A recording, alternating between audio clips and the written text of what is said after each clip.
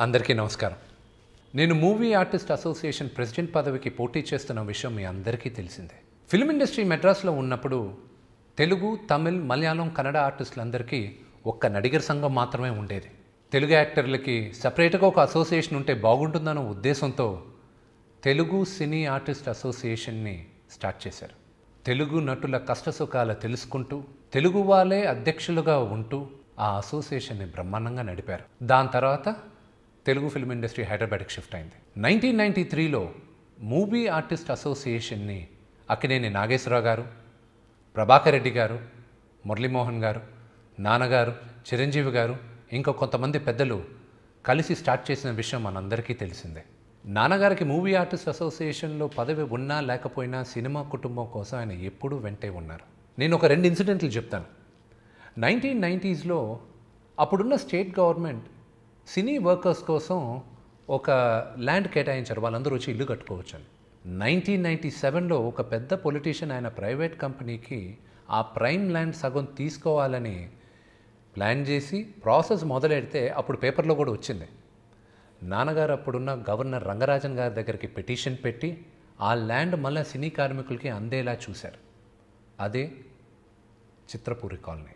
నా బ్రదర్ నటుడు సునీల్ ఇండస్ట్రీకి వచ్చిన కొత్తల్లో ఆయనకు ఏదో సమస్య వచ్చింది. ఇది ఎలా రిజాల్వ్ చేయాలని అడుగుతూ ఉంటే ఒక నటుడు చెప్పాడంట ఆయనకి. నువ్వు మోహన్ బాబు గారి దగ్గరికి వెళ్ళి ఆయన రిజాల్వ్ చేస్తాడు నీకు హెల్ప్ చేస్తాడని.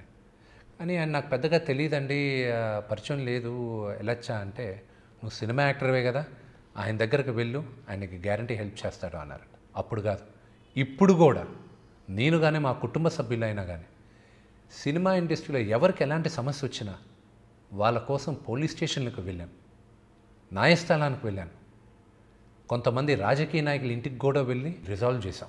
కుడి చేయి చేసిన దానం ఎడం చేతికి తెలియకూడదు అంటారు అందుకే వాళ్ళు ఎవరు మేమేం హెల్ప్లు చేశామని ఎప్పటికీ చెప్పను.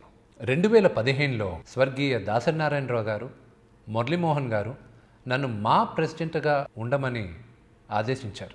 నేను నాన్నగారికి చెప్పినప్పుడు ఈ వయసులో నీకు అంత పెద్ద బాధ్యత ఇప్పుడే వద్దు అని దాసనారాయణరావు గారికి సర్ది చెప్పి వద్దన్నారు. మా అసోసియేషన్ ప్రెసిడెంట్స్ నాన్నగారు చిరంజీవి గారు నాగార్జున గారు మురళీమోహన్ గారు నాగబాబు గారు రాజేంద్ర ప్రసాద్ గారు శివాజీ రాజా గారు అందరూ చాలా మంచి పనులు చేశారు.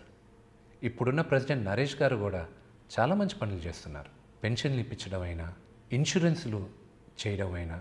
ఇప్పుడు కరోనా టైంలో చాలామంది అఫోర్డ్ చేయని వాళ్ళు ఆర్టిస్టులు ఉన్నారు. వాళ్ళందరూ హాస్పిటలైజేషన్ అయినప్పుడు ఆయన సొంత డబ్బు కూడా ఖర్చు పెట్టారు. సో ప్రతి ఒక్కరూ వాళ్ళ స్థాయిలో చాలా మంచి పనులు చేశారు. అసోసియేషన్లో ఏవో కొన్ని తప్పులు జరిగాయని ఈ- మధ్య మీడియాలోనూ అక్కడ ఇక్కడ వింటున్నాం. జరుగుండొచ్చు. కానీ అది ఉద్దేశపూర్వకంగా చేశారనేది మాత్రం నేను నమ్మను. గతాన్ని తోకుంటూ ఉన్నామంటే మనం ముందుకు వెళ్ళాం. మురళీమోహన్ గారు మా ప్రెసిడెంట్గా ఉన్నప్పుడు నేను ఆయన కింద ఎగ్జిక్యూటివ్ వైస్ ప్రెసిడెంట్గా చేశాను. మా జనరల్ బాడీ మీటింగ్లో స్వర్గీయ అకినే నాగేశ్వరరావు గారు హాజరయ్యారు.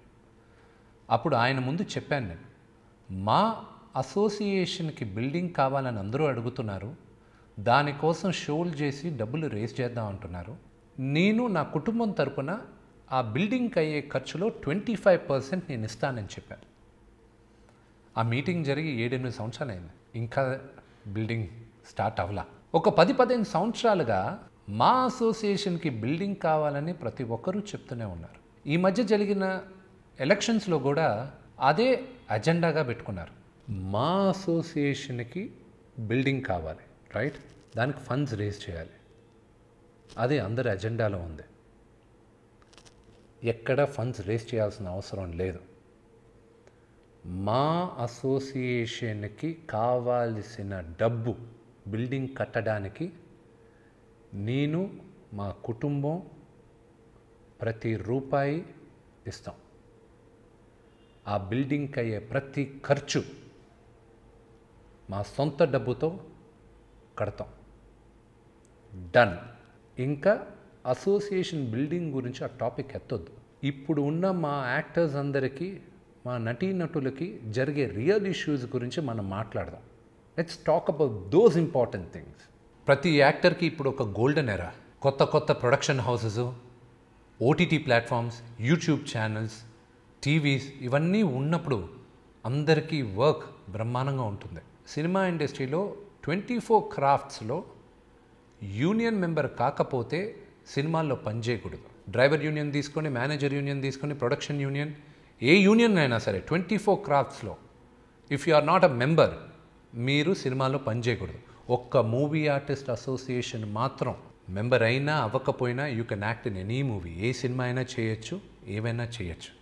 ఉన్న తొమ్మిది వందల మందికి ఫుల్గా పని లేదు. వాళ్ళకి ప్రాధాన్యత ఇవ్వాలి. కొత్త టాలెంట్ని ఎంకరేజ్ చేయాలి. We must get new talent all the time కానీ వచ్చిన కొత్త టాలెంట్ కూడా మా అసోసియేషన్లో మెంబర్స్ అవ్వాలి.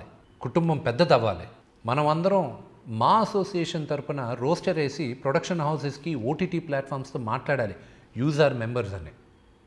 ప్రొడ్యూసర్స్తో మనం డిస్కషన్ పెట్టుకోవాలి.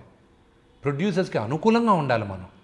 నిర్మాత లేకపోతే మనం అందరం ఎవరం లేవు. అది అది ముందు గుర్తుపెట్టుకోవాలి మనం. నేను కొన్ని విషయాల్లో ఓల్డ్ ఫ్యాషన్ ఆర్థడాక్స్ నేను నమ్మేది మూవీ ఆర్టిస్ట్ అసోసియేషన్ ఒక కుటుంబం. ఆ కుటుంబంలో తొమ్మిది వందల మంది ఉన్నాం.